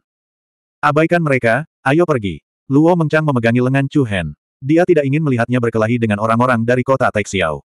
Namun, Chu Hen tidak menuruti Luo Mengcang kali ini. Tatapannya setajam pedang saat dia menghadapi Mu Hongzu. Suasana di kedua sisi berangsur-angsur menjadi tegang. Namun, karena pertarungan sengit antara para jenius di arena ke-9, tidak ada yang memperhatikan situasi di sini. Haha, Mu Hongzu tersenyum sembrono dan perlahan melangkah maju. Alisnya dipenuhi dengan rasa jijik. Aku, Mu Hongzu, selalu berani. Segera setelah itu, pandangannya sekali lagi tertuju pada Luo Mengchang, yang berada di samping Chu Hen, dengan senyum mengejek di wajahnya. Jika kamu, Nona Luo, menemaniku sendirian selama beberapa hari, aku bisa pergi dan berbicara dengan penguasa kota. Berdengung. Namun, kali ini, sebelum Mu Hongzu bisa menyelesaikan kata-katanya, gelombang udara yang menusuk tulang menyerbu ke arahnya. Dua sinar cahaya dingin keluar dari mata Chu Hen. Udara sedikit bergetar, dan Chu Hen langsung menghilang dari tempatnya berada. Dia menyerang Mu Hongzu seperti hantu. Huff, kamu datang di waktu yang tepat. Mu Hongzu mencibir. Kamu pikir kamu siapa? Tidak semua Tom, Dick, atau Harry memenuhi syarat untuk menyerang saya. Merasa. Seiring dengan suara udara yang terkoyak, tangan Mu Hongzu berubah menjadi cakar harimau dan menyerang tenggorokan Chu Hen dan Laut Qi Dantian. Gerakannya tajam dan ganas. Seolah-olah dia ingin melumpuhkan Chu Hen saat itu juga. Gelombang kekuatan Yuan sejati dengan cepat memenuhi udara dan melonjak keluar. Kekuatan Mu Hongzu seperti tsunami, langsung menekan Chu Hen. Tidak jauh dari situ, sekelompok orang dari kota Taixiao semuanya tersenyum menghina. Menurut pendapat mereka, Chu Hen hanya mencari kematian. Dia melebih-lebihkan dirinya sendiri hanya untuk pamer di depan seorang wanita. Perilaku seperti ini sungguh bodoh. Serangan Mu Hongzu sangat cepat dan kejam. Dia menyerang Chu Hen dari sudut yang sangat tepat. Senyuman sinis muncul di wajahnya. Namun, ketika jarak antara keduanya kurang dari 10 cm, pikiran Mu Hongzu tiba-tiba bergetar. Pupilnya yang sedikit berkontraksi memantulkan sepasang mata ungu iblis. Berdengung. Saat berikutnya, ruang visual Mu Hongzu berubah secara aneh. Kegelapan tak berujung menyelimuti segala sesuatu di sekitarnya. Semua orang di dunia ini menghilang, hanya menyisakan dia dan Chu Hen. Yang lebih aneh lagi adalah Chu Hen, yang baru saja berlari di depannya, kini berada ratusan meter jauhnya. Sepasang mata ungu dingin melayang di udara di belakang Chu Hen. Seolah-olah mata Dewa Iblis kuno menghadap ke langit dan hendak menghakimi Mu Hongzu. Itu hanya ilusi. Jantung Mu Hongzu berdetak kencang. Dia dengan cepat melepaskan kekuatan Yuan sejati yang lebih kuat. Gelombang kekuatan yang bergejolak meletus. Ilusi, hilangkan. Menghilangkan. Kegelapan surut, dan lingkungan familiar muncul kembali di hadapannya. Namun segera setelah itu, wanita muda dari kota Taixiao berseru, Saudara senior Hongsu, hati-hati. Apa? Heh, terlalu lambat. Seorang jenius dengan sepuluh kemenangan berturut-turut. Tawa sarkastik Chu Hen terdengar di telinga Mu Hongsu. Mu Hongzu terkejut. Melihat Chu Hen yang sudah tiba di depannya, dia dengan cepat mundur tanpa berpikir. Tapi bagaimana Chu Hen bisa memberi lawannya kesempatan untuk melakukannya? Tinju kanannya, yang dikelilingi oleh aura hitam pekat, ditinju dengan kecepatan penuh. Aliran pusaran air truyuan yang berputar cepat dengan cepat berkumpul di lengannya. Udara bergetar dengan gelombang-gelombang udara. Bang! Suara teredam yang berat terdengar, dan aura hitam yang tersebar meledak. Tinju Chuhen, yang memiliki kekuatan 10.000 kg, mendarat dengan kokoh di perut bagian bawah Mu Hongsu. Dampak mengerikan dari kekuatan tersembunyi itu langsung menghancurkan pertahanan Yuan sejati lawan dan langsung menuju ke organ internalnya. Rasa sakit yang hebat menyebar. Mu Hongsu, yang dipukul di bagian perut, merasa pupil matanya seperti akan pecah. Wajahnya tiba-tiba menjadi pucat, dan seluruh tubuhnya membungkuk. Dan kemudian, pada saat Mu Hongsu membungkuk, Chu Hen mengangkat lututnya dengan kecepatan yang sangat cepat dan langsung mengenai wajah Mu Hongsu. Ledakan. Dampaknya yang sangat dahsyat sungguh luar biasa dahsyatnya. Seluruh tubuh Mu Hongzhu bergetar hebat. Seluruh kepalanya terasa seperti hendak terbelah. Tubuhnya yang bungkuk terangkat kembali. Darah merah, beserta gigi patah, mengucur dari mulut dan hidungnya. Seluruh tubuhnya terangkat dari tanah dan melayang di udara. Kejam. Benar-benar kejam. Serangan Chuhen benar-benar kejam tanpa mempedulikan konsekuensinya. Luo Mengchang, yang berada di bagian belakang, sangat terkejut hingga mulut kecilnya terbuka sedikit, dan mata indahnya melebar. Di sisi lain, wajah orang-orang dari kota Taixiao berubah drastis. Kakak Hongsu, wanita muda yang sangat bangga pada dirinya sendiri sebelumnya berteriak ketakutan. Teriakannya mengejutkan semua orang di zona kompetisi ke-9, dan mereka semua mengalihkan pandangan ke arahnya. Apa yang sudah terjadi? Sebelum semua orang bisa pulih dari kebingungan mereka, adegan berikutnya adalah adegan tendangan keras Chu Hen yang mendarat tepat di dada sosok menyedihkan yang melayang di udara. Bang! Tendangan ini adalah yang paling ganas, dan jatuh dengan kekuatan sebesar gunung. Dada orang itu langsung ambruk. Tulang dadanya hancur, dan organ dalamnya bergetar. Tubuhnya terbang seperti karung pasir, langsung menabrak arena di area depan. Boom, boom. Detik berikutnya, tubuh Mu Hongzu menabrak dinding batu di tepi arena. Di bawah serangan dampak yang mengerikan, puing-puing runtuh, dan debu beterbangan ke mana-mana. Retakan padat menyebar di arena seperti tanaman merambat.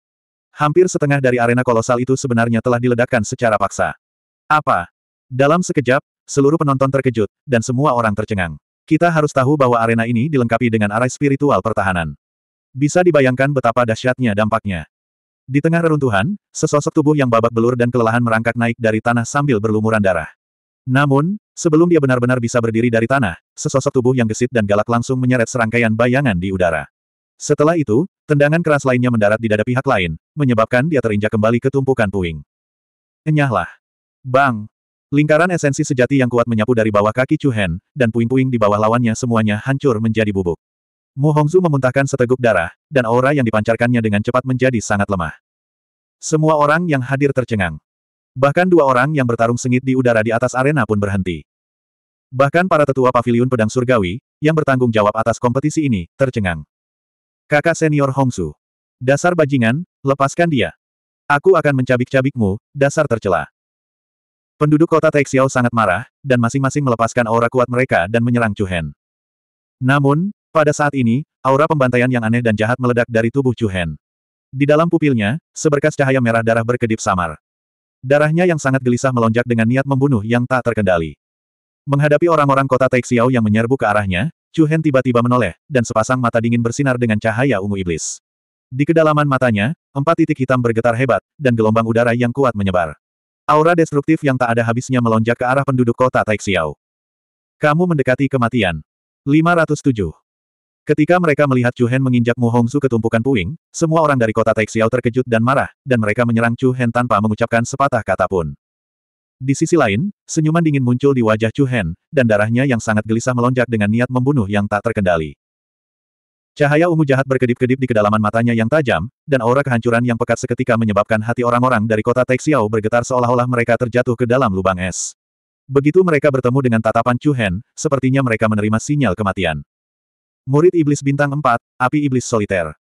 Dalam sekejap, aura sedingin es dan mengerikan menyebar ke segala arah, dan ruang di sekitar orang-orang dari kota Taixiao tiba-tiba melengkung. Chu Hen, jangan. Tepat pada saat ini, suara cemas Luo Mengxiang terdengar. Teriakan cemas dan prihatin ini seperti suara sansekerta yang melayang melewati gunung dan sungai, gunung dan lautan nyanyian orang. Itu mengalir ke dalam pikiran Chu Hen dan menarik hati sanubarinya. Setelah itu, niat membunuh yang kejam di dalam tubuh Chu Hen dengan cepat menghilang.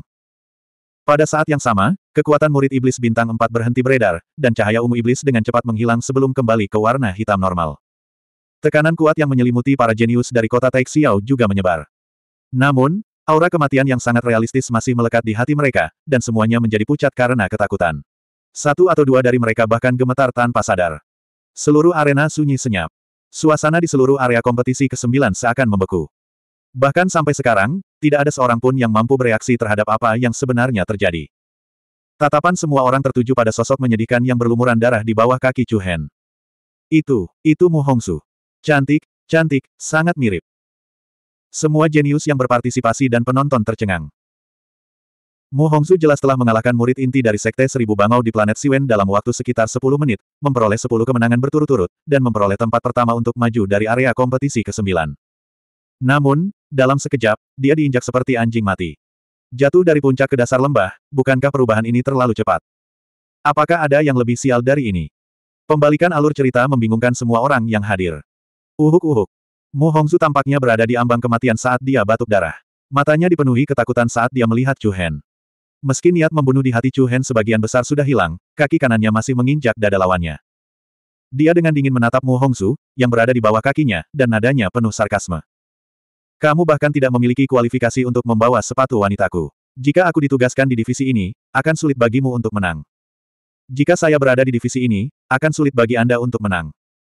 Aura mendominasi yang sangat dingin meledak dari tubuh Chu Hen, langsung menghancurkan semua orang yang hadir. Hati setiap orang yang hadir sedikit bergetar. Mereka terkejut dengan sikap Chu Hen yang mengesankan. Mu Hongzu merasa seperti baru saja ditampar wajahnya. Baik secara fisik maupun mental, dia langsung disambut dengan rasa kekalahan yang belum pernah terjadi sebelumnya. Adapun orang-orang dari kota Taixiao, mereka bahkan tidak berani mengucapkan sepatah kata pun. Terutama gadis muda yang sebelumnya mengolok-olok Luo Mengcang, dia jinak seperti anak kucing. Apa yang sedang terjadi? Berapa kamu? Penatua pelaksana Paviliun Pedang Surgawi, yang bertanggung jawab atas kompetisi ini, akhirnya bereaksi. Ia segera melangkah maju dan mengomel dengan suara pelan, tahukah kamu kalau mengganggu ketertiban kompetisi akan mengakibatkan diskualifikasi? Apakah Anda memperlakukan paviliun pedang surgawi sebagai pasar? Luo Mengcang buru-buru berlari ke sisi Chu Hen dan meminta maaf kepada penatua pelaksana dan yang lainnya. Maaf, tetua, ini semua salah paham. Ini tidak ada hubungannya dengan Chu Hen. Salah paham. Mata semua orang sedikit bergerak. Kesalahpahaman namun mereka masih memukuli seseorang sampai mati. Tidak ada hubungannya dengan Chu Hen. Bahkan arenanya telah dibongkar. Bagaimana mungkin hal itu tidak ada hubungannya dengan dia? Mungkinkah Mu Hongsu sendiri yang menabrak arena dan kemudian dengan sengaja berbaring di kaki Chu Hen? Wajah Managing Elder menjadi sedikit gelap, dan dia tampak tertekan. Tapi dia mengenali Chu Hen dan Luo Mengchang. Lagi pula, mereka berdua sudah berada di sini lebih dari sebulan. Apalagi mereka adalah tamu terhormat yang dibawa oleh Mu Feng. Dia masih harus menghadap Tuan Muda. Namun di bawah pengawasan banyak orang, tidaklah pantas untuk berpura-pura tidak terjadi apa-apa. Namun, seorang penatua tetaplah seorang penatua. Untuk bisa menduduki posisi seperti itu, dia sebenarnya bukanlah orang biasa. Dia berpura-pura menatap Chu Hen dengan ketidakpuasan dan berkata, apakah kamu dari zona kompetisi ini? Mata Chu Hen sedikit menyipit. Dia pertama kali menjauhkan kakinya dari tubuh Mu Hongsu. Nada suaranya sedikit melunak, dan dia berkata, zona kompetisi nomor 6. Apa yang kamu lakukan di zona kompetisi ke-6 ini? Menonton pertunjukan.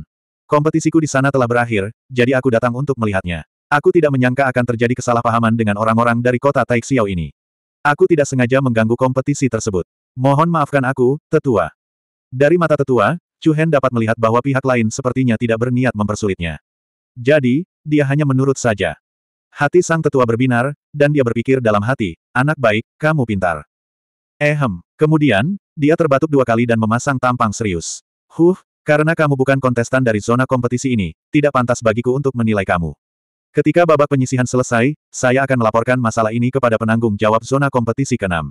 Adapun apakah mereka akan mendiskualifikasi Anda dari kompetisi nanti. Anda sebaiknya berdoa untuk kebaikan Anda sendiri.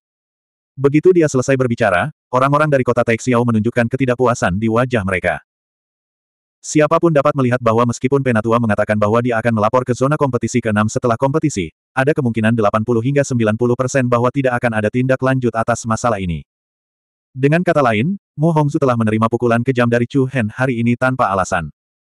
Elder, salah satu murid kota Taixiao mau tidak mau melangkah maju dan berkata.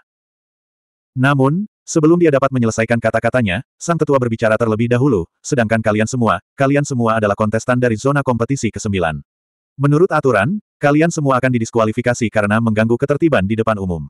Kompetisi. Sial. Tidak mungkin.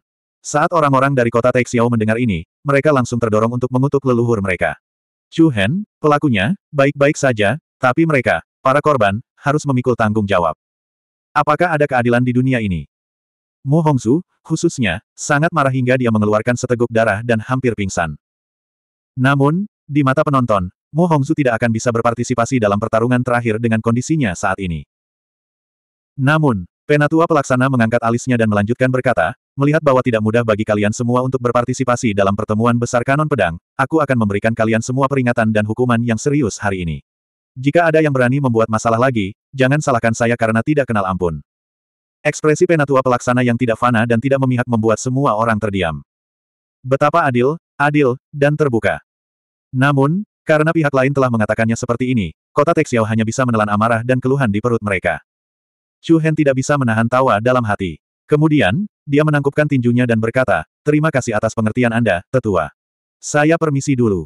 Pergi-pergi, jangan datang ke zona kompetisi kami lagi. Sang tetua melambaikan tangannya dan mengutuk dengan suara rendah. Kami baru bertarung beberapa putaran dalam kompetisi, dan kamu sudah menghancurkan arenaku. Siapa yang kamu sakiti? Begitu banyak hal sepele. Chu Hen dan Luo Mengxiang saling memandang dan menahan tawa mereka. Kemudian, mereka berbalik dan pergi. Begitu mereka berdua pergi, orang-orang dari kota Taixiao segera maju untuk membantu Mu Hongzu keluar dari tumpukan puing. Kakak senior Hongzu, bagaimana perasaanmu? Harus diakui bahwa Chu Hen benar-benar kejam. Hanya dalam empat gerakan, dia telah mengalahkan lawannya dengan sangat buruk hingga dia bahkan tidak bisa berdiri. Tulang dadanya patah, dan semua organ dalamnya terluka. Mendesis. Orang-orang di sekitarnya tersentak dalam hati. Mu Hongzu benar-benar tidak beruntung. Dari semua orang yang bisa dia sakiti, dia harus menyinggung Chu Hen. Dengan cedera serius seperti itu, dia bisa melupakan sisa kompetisi. Dia akhirnya memperoleh 10 kemenangan berturut-turut, tetapi pada akhirnya tetap sia-sia. Dan, beberapa gadis muda yang duduk di sana diam-diam iri pada Luo Mengcang. Baru saja, cara dominan Chu Hen dalam menekan seluruh penonton adalah untuknya. Siapa pun pasti berharap memiliki pria seperti itu di sisinya untuk melindungi mereka. Kakak senior Hongzu, gadis muda yang memulai pertarungan tadi memandang wajah Mu Hongzu yang berlumuran darah dengan ekspresi ketakutan. Mu Hongzu menggertakkan giginya dan berkata dengan suara rendah, bawa. Bawa aku ke Mu, Mu Yifeng. Aku tidak akan melepaskannya. Di sisi lain, para jenius dari Sekte Seribu Bangau semuanya memiliki ekspresi berbeda. Kakak senior Si Wensing, apa yang harus kita lakukan sekarang? Seorang pria muda bertanya. Si Wensing menggelengkan kepalanya dengan sedikit tidak berdaya, dan kemudian dia menjawab, tidak perlu khawatir. Ini adalah pavilion pedang langit, jadi anggota kota langit besar tidak akan melakukan apa pun pada Chu Hen untuk saat ini. Setelah dia selesai berbicara, dia menambahkan, namun, demi keamanan, Anda harus melaporkan masalah ini kepada kakak senior Wu Yuan. Baiklah, aku mengerti. Saya kira kompetisi kakak senior Wu Yuan seharusnya sudah berakhir sekarang. Jawab pemuda itu. Pada akhirnya, si Wen Xing relatif lebih setia kepada Sekte Seribu Bangau meskipun ada permusuhan antara dia dan Chu Hen. Tapi dia harus mengakui ada alasan mengapa pemimpin Sekte dan Tetua Agung memandang baik Chu Hen. Jika Chu Hen dapat kembali ke Sekte Seribu Bangau, tidak akan lama sebelum dia menjadi tuan muda Yuan lainnya. Baiklah, sudah cukup. Ayo lanjutkan kompetisinya. Penatua pelaksana melambaikan tangannya dan mengumumkan bahwa kompetisi akan dilanjutkan. Baru pada saat itulah semua orang kembali sadar. Apa tujuan berkumpul di sini? Namun, mungkin karena keributan yang disebabkan oleh Chu Hen terlalu mengejutkan, kebanyakan dari mereka sedikit terganggu. Kedua jenius yang bertarung sengit sebelumnya tidak dapat menemukan ritme mereka untuk waktu yang lama. Tetua itu menggelengkan kepalanya dan menghela nafas ketika dia melihat hampir separuh arena telah runtuh. 508. Babak penyisihan pertemuan besar hukum pedang masih berjalan lancar. Setelah kejadian di arena ke-9, Chu Hen dan Luo Mengcang kembali ke kediaman mereka. Sekarang, seluruh pavilion pedang surgawi diselimuti suasana yang hidup. Hanya puncak pedang menakutkan yang merupakan tempat sepi. Di ruangan yang luas dan terang, Luo Mengcang dengan lembut membuka jendela. Angin sepoi-sepoi dan sejuk bertiup melalui hutan, tapi sangat nyaman. Tak lama kemudian, Luo Mengcang berbalik, memegang tangan Chu Hen, dan duduk menghadapnya di ambang jendela. Sepasang mata besar yang indah menatap pihak lain dengan ekspresi aneh. Apa yang salah? Apakah ada sesuatu di wajahku? Chu Hen menyentuh wajahnya dan bertanya. Luo Mengcang menggelengkan kepalanya, lalu mencondongkan tubuh ke depan dan mendekatkan kepalanya ke sisi kiri wajah Chu Hen. Bibirnya yang seperti ceri dengan lembut menyentuh wajah Chu Hen. Hem. Chu Hen tidak bisa menahan diri untuk tidak terkejut dan tanpa sadar mengepalkan tinjunya. Hangat seperti batu giok, sejuk seperti sutra. Segera setelah itu, Luo Mengcang mundur, wajah cantiknya sedikit memerah.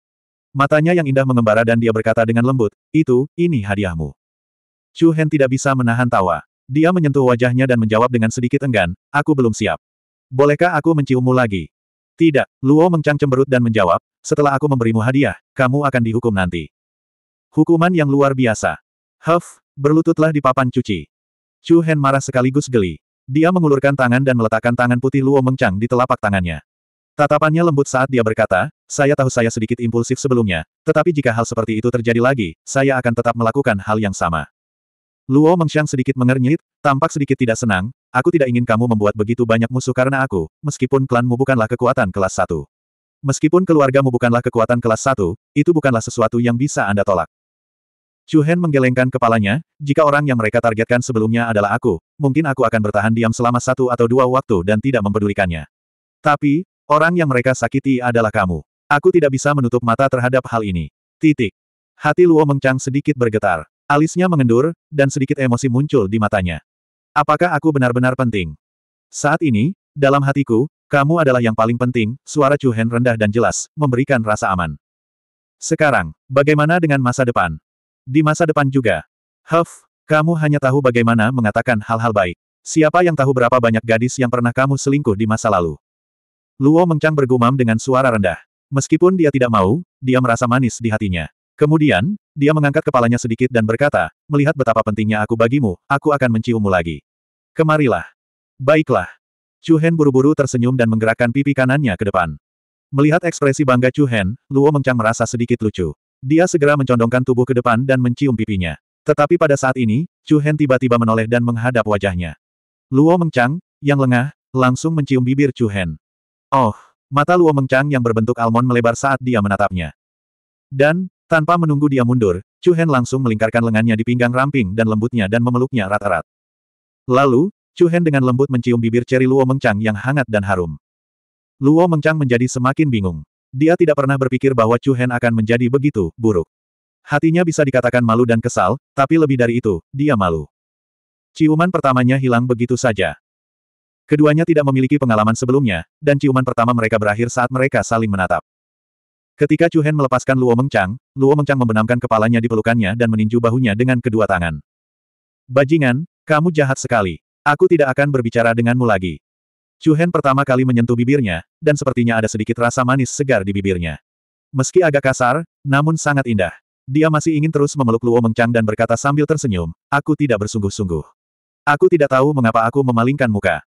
Kepada siapa kamu berbohong? Lepaskan aku, aku tidak ingin berbicara denganmu lagi. Aku tidak akan melepaskannya. Huff, orang jahat. Luo Mengcang tidak berjuang lagi. Dia diam-diam bersandar di dada Chu Hen seperti anak kucing yang berperilaku baik. Chu Hen mencium aroma rambut indahnya, dan kilau lembut muncul di matanya. Saat ini, pihak lain seperti seseorang yang bisa mereka andalkan, berpelukan dan mengandalkan satu sama lain. Itu sangat memuaskan. Chu Hen, Luo Mengcang tiba-tiba memanggil dengan lembut. Hem. Saat kita berada di divisi sembilan, kamu terlihat sedikit menakutkan. Menakutkan. Chu Hen tercengang. Mengapa kamu mengatakan itu? Luo Mengcang dengan lembut duduk dari pelukannya. Matanya yang indah bagaikan air, dan wajahnya yang begitu cantik mampu menyebabkan runtuhnya sebuah kota. Namun, ada sedikit kekhawatiran di antara alisnya yang indah. Pada saat itu, kamu memiliki permusuhan yang sangat kuat, seolah-olah kamu ingin membunuh Mu Hongzu dan yang lainnya. Secara logika, meskipun Mu Hongzu telah mengucapkan beberapa patah kata yang seharusnya tidak dia ucapkan, dia seharusnya tidak membunuhnya di bawah pengawasan banyak orang. Namun, Chu Hen memberi Luo Mengcang perasaan bahwa dia telah kehilangan kendali dan sangat kejam. Bukan hanya Mu Hongsu. Jika dia tidak menghentikan Chu Hen pada saat kritis, orang-orang dari kota Taixiao akan menderita bersamanya. Merasakan kekhawatiran dan kegelisahan di mata Luo Mengcang. Chu Hen menyipitkan matanya dan menjawab dengan lembut, saya tidak tahu mengapa saya melakukan itu.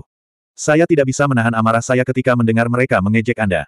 Tapi kamu membuatku merasa tidak nyaman. Aku khawatir suatu hari nanti kamu akan kehilangan kendali sepenuhnya. Baiklah, jangan khawatir. Ini tidak seserius yang Anda bayangkan. Chu Hen tersenyum sedikit. Aku akan berhati-hati. Aku tidak akan mudah marah di kemudian hari, oke. Okay. Luo Mengcang mengangguk, dan senyum menawan muncul di wajahnya. Namun, dia tetap khawatir. Mungkin ini ada hubungannya dengan apa yang terjadi di dinasti Bintang Suci. Hanya ketika simpul di hatinya dilepaskan, permusuhan di hati Chu Hen akan hilang. Ngomong-ngomong, Mengcang, aku belum bertanya padamu. Apa hubungan Anda dengan orang-orang dari kota Taixiao? Apakah Anda punya dendam di masa lalu? Ekspresi Chu Hen menjadi serius. Mata Luo Mengcang meredup. Dia menggelengkan kepalanya sedikit. Saya tidak ingin Anda terlibat dalam masalah ini. Kamu adalah calon istriku. Setidaknya kamu harus memberitahuku beberapa hal tentangmu, bukan? Luo Mengcang sedikit ragu. Setelah ragu-ragu sejenak, bibir merahnya sedikit terbuka. Sebenarnya, sepuluh tahun yang lalu, penguasa tertinggi kota Taixiao adalah klan Luo kita. Oh! Kelopak mata Chu Hen bergerak-gerak. Dia sedikit terkejut. Klan Luo dulunya adalah kekuatan di kota Taixiao. Ya, Luo Mengcang menyetujui dengan lembut. Dia melanjutkan, dalam 200 tahun terakhir, klan Luo telah bercokol di kota Taixiao dan mengelola industri-industri besar di kota Taixiao sebagai penguasa kota.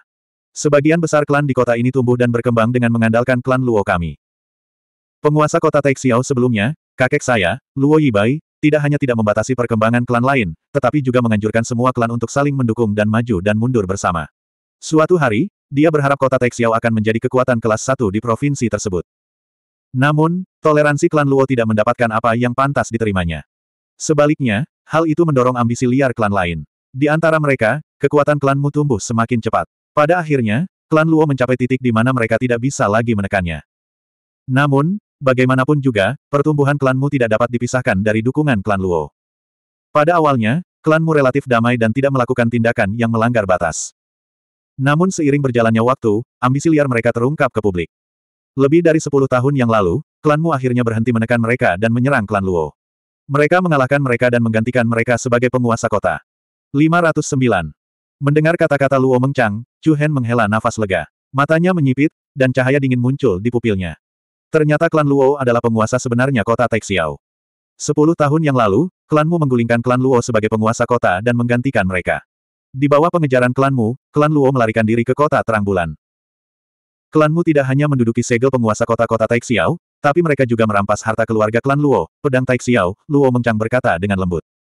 Dia berusaha sekuat tenaga untuk tidak menunjukkan rasa dingin di hatinya. Dia tidak ingin mempengaruhi emosi Chu Hen. Pedang Tai Xiao. Ya, Luo Mengxiang mengangguk. Pedang surga tertinggi adalah senjata semi-sage. Kakek awalnya berencana untuk mengundang ahli pemurni terkenal di provinsi tersebut untuk membantu meredamnya pada tahap selanjutnya sehingga pedang itu bisa menjadi pedang sage yang sebenarnya. Namun apa yang terjadi kemudian benar-benar mengubah rencana itu. Petik 2. Luo Mengcang dengan lembut memegang tangan Chu Hen, dan ada sedikit kesedihan dalam suaranya.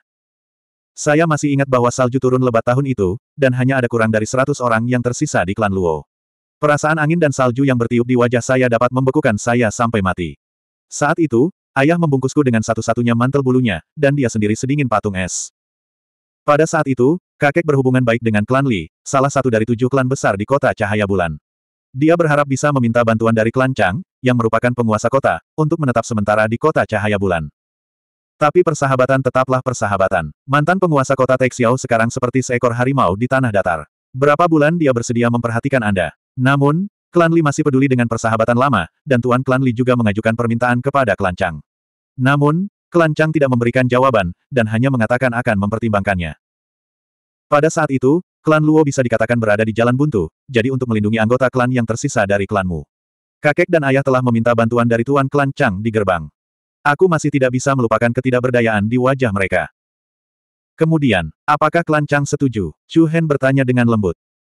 Luo Mengcang menggelengkan kepalanya dengan lembut, kakek dan ayah telah berdiri di depan pintu klan Chang selama tujuh hari tujuh malam tanpa makan sebutir nasi pun. Saat kami hampir kehilangan harapan, keluarga Chang menawarkan untuk menerima keluarga Luo. Namun, apa pun yang terjadi di masa depan, klan Luo harus mematuhi klan Chang. Ini setara dengan menjadikan kakek sebagai pelayan klan Chang. Siapa yang mengira bahwa mantan penguasa kota-kota Taixiao akan berakhir di kota terikat bulan dan diturunkan menjadi pelayan kelas 1?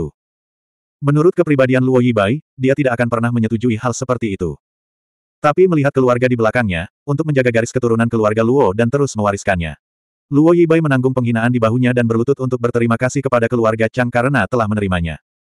Sejak saat itu, klan Luo tinggal di kota perayapan bulan. Meskipun klan Luo telah jatuh dari kedudukannya yang tinggi, sebagai mantan penguasa kota Langit Agung, klan Luo masih memiliki banyak sumber daya cadangan. Apa yang perlu mereka lakukan adalah memulihkan vitalitas mereka secara bertahap dengan bantuan kota terikat bulan, dan kemudian merebut kembali kota Taixiao. Dengan sumber daya cadangan dan kembalinya beberapa cabang jaminan klan Luo, klan Luo memperoleh banyak vitalitas dan popularitas. Ditambah dengan pengalaman dan fondasi yang kaya yang telah dikumpulkan oleh klan Luo, klan Luo berhasil dengan baik di berbagai industri di kota perayapan bulan, dan kecepatan pemulihan mereka sangat cepat. Ayah sangat berpikiran bisnis dan tahu bagaimana membangun hubungan. Segera, kami menjalin hubungan kerja sama dengan beberapa klan di kota perayapan bulan. Hanya membutuhkan waktu sekitar 5 hingga 6 tahun. Klan Luo kami menjadi klan ke-8 di kota perayapan bulan, meskipun kekuatan kami secara keseluruhan adalah klan terlemah. Luo Mengcang berkata sambil tersenyum. Ada sedikit kekaguman dalam senyumannya pada ayahnya. Chu Hen menghela nafas lega. Dia harus mengakui bahwa klan Luo diberkati oleh surga. Namun, Ketika situasi klan Luo berangsur-angsur membaik, klan Chang mengajukan permintaan kepada klan Luo di tahun ke-6 bahwa mereka akan mengambil 60% keuntungan klan Luo. 60%. Chu Hen mengerutkan kening. Bagi klan Luo, yang baru saja mulai pulih, ini jelas merupakan pukulan telak. Ya, Luo Mengchang menjawab dengan lembut, klan Luo tentu saja menentangnya, tetapi karena perjanjian tersebut, kami tidak punya pilihan selain menyetujui persyaratan klan Chang. Dengan diambilnya 60% keuntungan industri, situasi klan Luo menjadi jauh lebih canggung. Namun, mereka harus menundukkan kepala saat berada di bawah atap. Meskipun sejak awal, klan Chang tidak menerima klan Luo di kota perayapan bulan dengan tujuan menjadi seorang dermawan yang hebat, mereka tetap menerima mereka. Bahkan jika permintaan pihak lain sangat tidak masuk akal, mereka harus gigit jari. Dan setuju. Dalam waktu kurang dari setengah tahun, pukulan yang lebih kejam terjadi. Apa itu? Ekspresi Chu Hen sedikit berubah. Mata Luo Mengcang tampak kesurupan. Dia menggigit bibir merahnya dengan gigi peraknya dan mengencangkan cengkeramannya di tangan Chu Hen. Kakek meninggal. Setelah mendengar kata-kata ini, Chu Hen sedikit terharu. Dia mengulurkan tangan dan memeluk Luo Mengcang. Luo Mengcang bersandar di dadanya dan sedikit menyesuaikan emosinya. Dia berkata, sebenarnya, ketika kami meninggalkan kota Taixiao, kakek sudah terluka parah. Perjalanan jauh, ditambah dengan berdiri di luar rumah klan Chang selama tujuh hari tujuh malam, berujung pada penyakit yang tak tersembuhkan. Faktanya, Selama tahun-tahun itu, ayahlah yang mengatur semua urusan klan Luo. Seringkali, kakek terbaring di tempat tidur. Meski begitu, di mata klan Luo, Luo Yibai selalu menjadi pilar spiritual mereka. Persyaratan keras klan Chang sangat membatasi pemulihan dan perkembangan klan Luo. Penyakit lama Luo Yibai yang depresi kambuh, dan akhirnya dia meninggal dunia. Kata-kata terakhir kakek sebelum dia meninggal adalah merebut kembali kota Taixiao dan pedang Taixiao. Mata Luo Mengcang berkedip-kedip dengan riak samar. Keinginan ini tidak terkabul bahkan ketika Luo Yibai meninggal. Penyesalan terbesar dalam hidup adalah terlalu banyak hal yang tidak bisa ditinggalkan pada saat berpisah.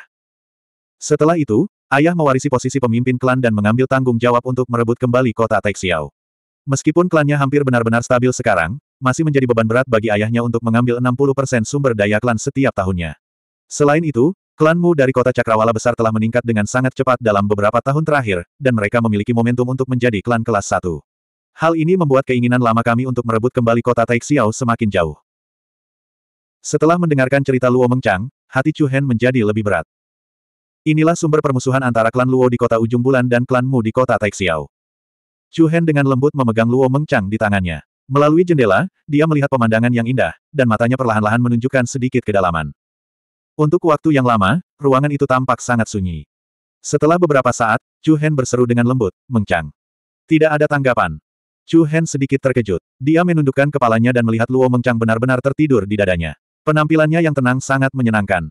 Chu Hen tersenyum agak menyedihkan. Dia dengan santai mengeluarkan mantel dari cincin penyimpanannya dan dengan ringan menutupi punggungnya. Dia sendiri bersandar di ambang jendela dan mempertahankan postur ini tanpa bergerak. Setelah tiga hari pertarungan sengit, babak penyisihan Grand Mat manual pedang akhirnya berakhir. Dalam tiga hari terakhir, suasana seluruh pavilion pedang surgawi terus bergejolak.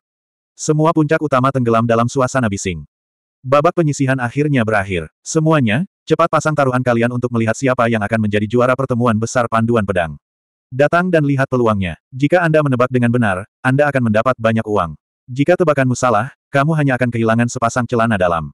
Pangeran Darah, itu pasti Pangeran Darah. Itu pasti Tuan Muda Yuan. Saya mendukung Tuan Muda Yi.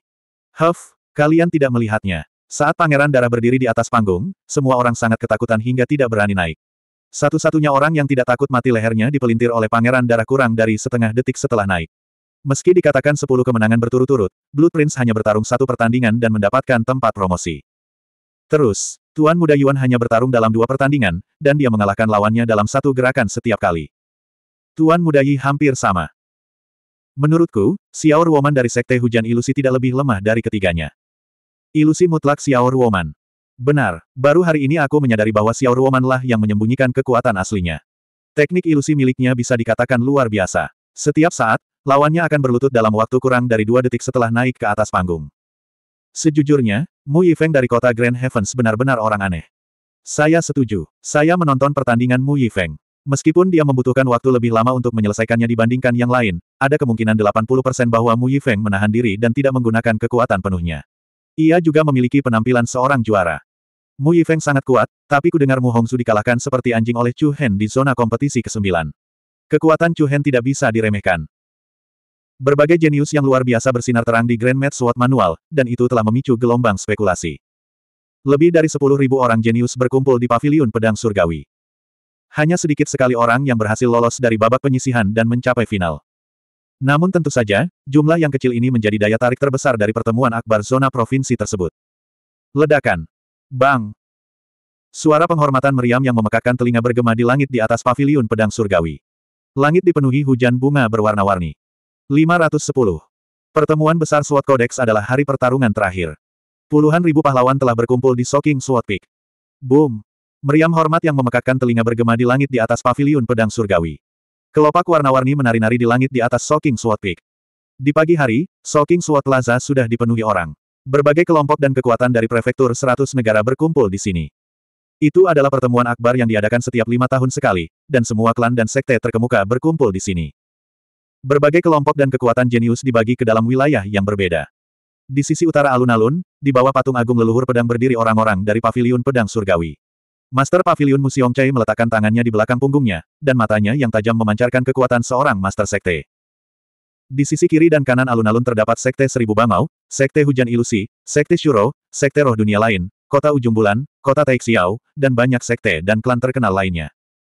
Semakin kuat sekte dan kekuatannya, semakin dekat mereka dengan pihak paviliun pedang surgawi.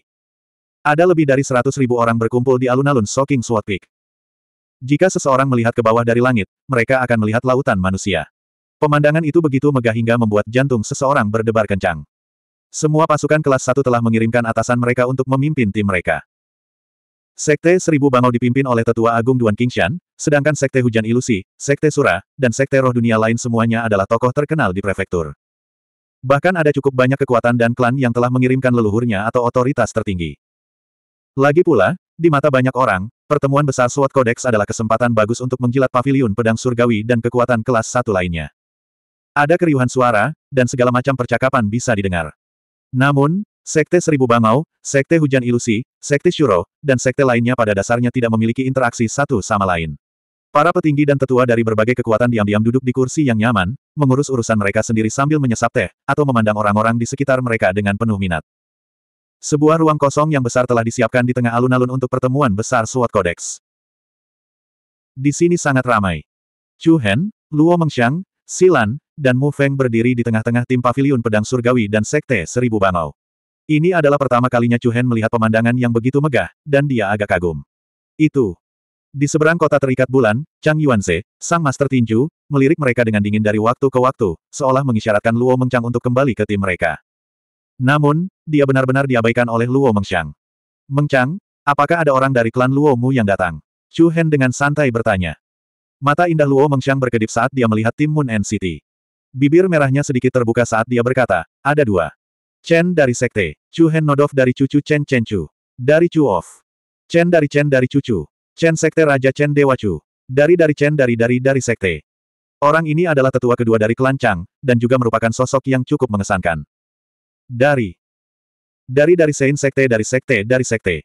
Chen dari. Dari Sekte Sein ribuan dari Sekte Gunung. Chu Hen memandangnya dengan curiga dan bertanya dengan bingung, kamu nampaknya sangat kesal akhir-akhir ini. Apakah mania kamu bertingkah? Mu Feng menggelengkan kepalanya dan tidak mengatakan apa pun. Tapi semakin dia bersikap seperti ini, semakin Chu Hen merasa ada yang tidak beres. Mu Feng berperilaku tidak normal akhir-akhir ini. Sepertinya dia selalu memikirkan sesuatu. Apakah karena kamu tidak lolos babak penyisihan? Kata Chu Hen sambil tersenyum. Huff, Mu Feng memasang senyum palsu. Dia memandangnya dengan curiga dan menjawab dengan nada menghina, aku lupa memberitahumu. Aku memenangkan sepuluh kemenangan berturut-turut pada hari pertama. Oh, tidak hanya Chu Hen, tetapi Luo Mengxiang dan Si Lan juga terkejut. Dengan kekuatan Mu Feng, dia benar-benar lolos babak penyisihan pertama. Ketika dia memikirkannya, dia menyadari bahwa pihak lain adalah Tuan Muda Paviliun Pedang Surgawi. Hei, hei, hei. Ada apa dengan ekspresimu? Apakah menurut Anda para petinggi bersikap lunak terhadap saya dan dengan sengaja mengatur agar saya berada di area persaingan terlemah? Luo Mengxiang buru-buru menggelengkan kepalanya. Dia memegang lengan Chu Hen dan menjawab dengan nakal. Kami tidak mengatakan apa pun. Benar, jangan terlalu gelisah. Chu Hen tidak bisa menahan diri untuk tidak menggoda. Wajah Mu Feng penuh dengan penghinaan. Sungguh sekelompok teman yang buruk. Pada saat ini, Yan Han Liu, murid inti dari Sekte Seribu Bangau, berjalan mendekat. Saudari junior Si, tetua pertama ingin kamu pergi ke sana. Hem. Silan sedikit terkejut. Chu Hen juga memandangnya dengan heran. Keduanya saling memandang. Silan mengangguk dan berkata, saya mengerti. Kemudian, Silan mundur ke sisi tetua pertama Duan Qingshan. Saat mereka berdua berbicara dengan suara rendah, Duan Qingshan sesekali melirik Chu Hen. Jelas dia ingin Silan memanggil Chu Hen kembali ke Sekte Seribu Bangau. Adik Chu Hen, kamu sangat beruntung. Sungguh membuat iri menemukan keindahan seperti itu untuk menemani Anda. Yan Han Liu memandang Luo Mengxiang dan tersenyum. Luo Mengxiang melepaskan lengan Chu Hen karena malu dan mengangguk dengan sopan. Alis tampan Chu Hen melonjak ringan, tersenyum, dan berkata, apa? Kakak senior Han Liu, kamu juga iri. Tentu saja, siapa yang tidak menyukai gadis cantik seperti itu? Haha, kalau begitu kakak senior Han Liu, kesukaanmu cukup aneh. Yan Han Liu tidak marah atas godaan Chu Hen. Dia tersenyum dan berkata, Saudara muda Chu Hen, apakah kamu memiliki kepercayaan diri untuk masuk lima besar hari ini? Dari sudut pandang Yan Han Liu, Wu Yuan, Sue He, dan Cui Qi pasti akan menempati posisi tiga besar.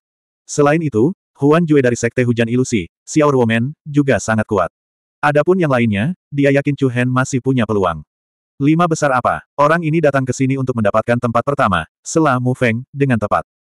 Chu Hen tersenyum tak berdaya dan menggelengkan kepalanya. Dia tidak menjawab pertanyaan Yan Han Liu dan hanya menjawab dengan lelucon sopan. Dengan adanya kakak senior Han Liu di sini, aku tidak akan berani bertindak gegabah.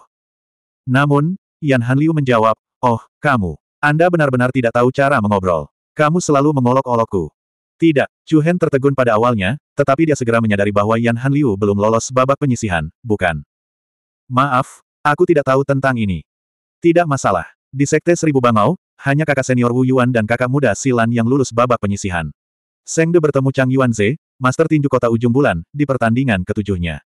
Sedangkan aku, saya kurang beruntung. Dalam pertandingan keenam saya, saya bertemu Mu Yifeng dari kota Taixiao.